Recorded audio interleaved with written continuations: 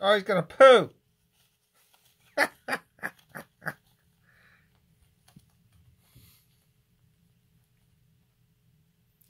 right on the edge of it. You can't do the middle? Dude, seriously? It's gonna go on the carpet. Oh, it's gonna stink too.